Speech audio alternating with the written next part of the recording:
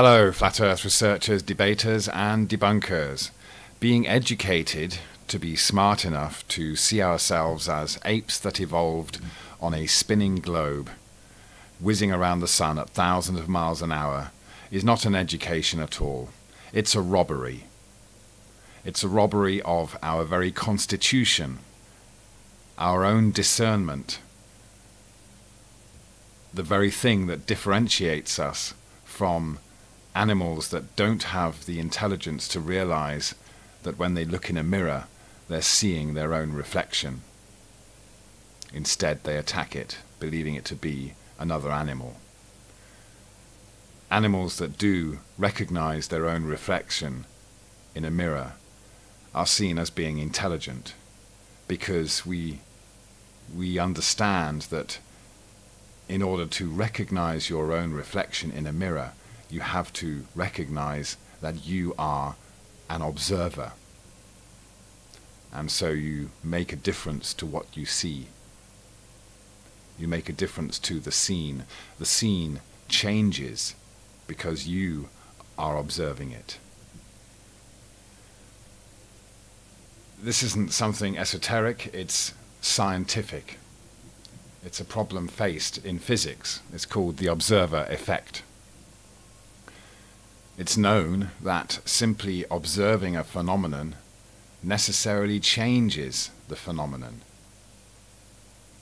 because the instruments, be it the eye or a camera or something else that is used, alters the state of what's measured. We can see here a convex lens on the left with parallel lines of light coming in and those lines of light are being changed into converging lines of light. So the actual scene is being translated or converted by the convex lens. And that's the same kind of lens that we have in cameras. And we have those kinds of lenses in cameras because we want the images to be as close as possible as to what we see with our own lenses in our own eyes. But of course, what's happening is the actual scene, these parallel lines of light, are being changed into converging lines of light. So, the act of being an observer, simply observing this phenomenon, changes the phenomenon. This is a scientific fact. And this is why perspective is a real thing because you can see that's what's happening in the eyes. This convergence on the other side, when we look across a flat surface and what would be a flattish sky with clouds or whatever features going off in a parallel line to the surface, what we see is convergence. So this is what we recognize as distance. The further we see, the more everything appears to converge in the distance. That's how a, a, scene is translated in our eyes. We know the scene isn't really doing that, but our eyes see it that way. Here's a close up of that, yeah, the parallel lines coming in and converging. Here's another example of a convex lens changing parallel lines of light into converging lines of light, and then they diverge again. So it's doing two things here. It's changing that image. It's changing the reality into something else.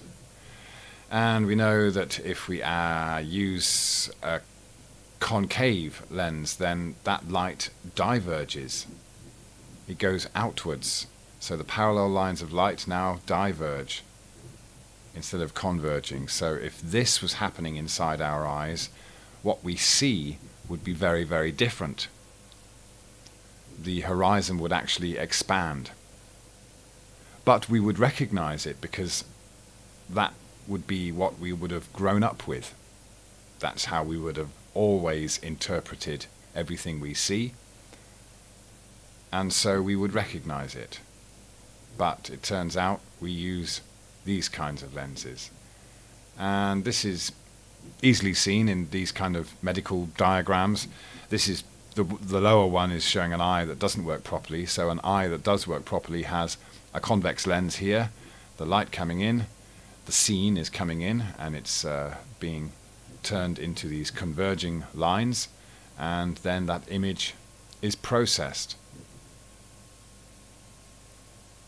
Uh, we can use this diagram of a CCTV setup as an analogy of what's actually going on when we make an observation. We have the cameras here taking in the scene. However, the scene is in actuality, it's going to be converted by these lenses into something else other than what the actual scene is. And then the information is sent down the wire to the processor or the brain, which then converts it into an image that can be recognized on this screen. So these parts are all separate, but they are connected, and they are all used to convert the scene into an image that is recognizable. So we can consider that the cameras are the same as the human eye. The information is taken in through a convex lens, fed to the brain or the processor, which then converts that into an image that we can recognize and appears in our mind's eye. So let's try and break this down into a little bit more detail. Here we have a scene the sun and the sea. And because we are seeing this scene through a convex lens as an observer, we see a sun that is close to the horizon.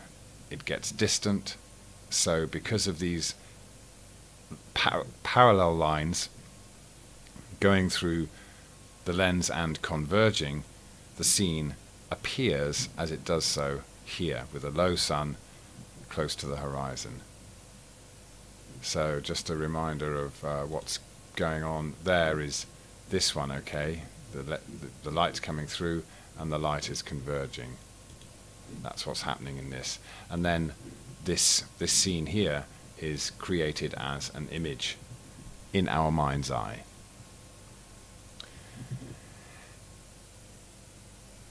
If, however, we change the lens and we make it a concave lens. So that would give us this kind of effect here where the light from the scene coming in then diverges, goes outwards. Yeah. So by if our eyes were observing this scene with a convex, I'm sorry, concave lens, then what we would see in our mind's eye would be very different we'd end up with a scene something like this, where the gap between the horizon on the surface and the sun is much larger. So if this kind of lens was in a camera or our eyes, the scene that we see is different. It comes out as a different picture. And so the, the angle of elevation or altitude of the sun above the surface will be different when seen through this kind of lens compared to this kind of lens, which would change the scene back to this. Yeah? This is just simple science being applied to the observations And this is how we know that perspective is essential in realizing as being very much a part of any observation we make. And realizing that we, as an observer, are kind of like a third party observer of what's actually going on. And we know that the globe Earth model has been constructed out of observations observations of the sun, the moon, and the stars. Each of those celestial objects is observed as being at an, a certain angle above the horizon. But it's all being done with convex lenses to create, even if we use an optical instrument, it's used, a convex lens is used to create an image that we can recognize. Yeah? So uh, if we had uh, concave lenses like this in our eyes, and the scene looked uh, like like this, then okay, we, we would recognize it as such. We would recognize this gap as being distance. It, it, and so all the instruments we would use, like cameras and such, would, would have concave lenses instead to recreate the scenes in the way that we see them. Yeah?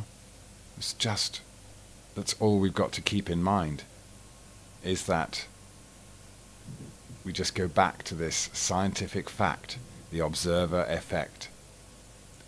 Simply observing a phenomenon necessarily changes that phenomenon.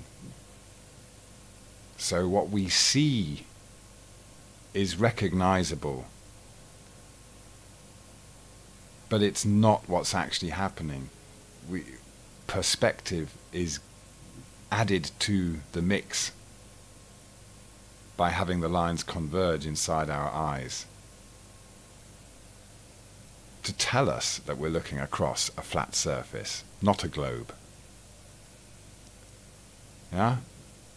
So the only way they can convince us we live on a globe and have us believe that sunrises and sunsets are because we're on a spinning globe it beca- is because they took away our ability to recognize or didn't remind us that we are an observer.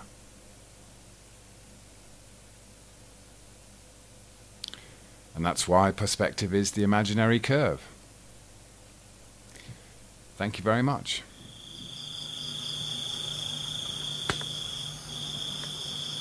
Can you do it? Press the middle one. Huh? That's fine.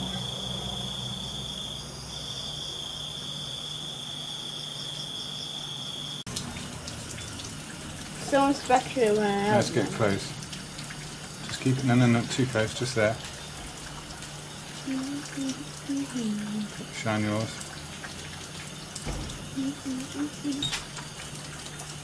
Just keep it straight in the middle. Right in the middle. Just keep turning off. Uh, is it working? Where is it, Leanne? Yeah. Huh?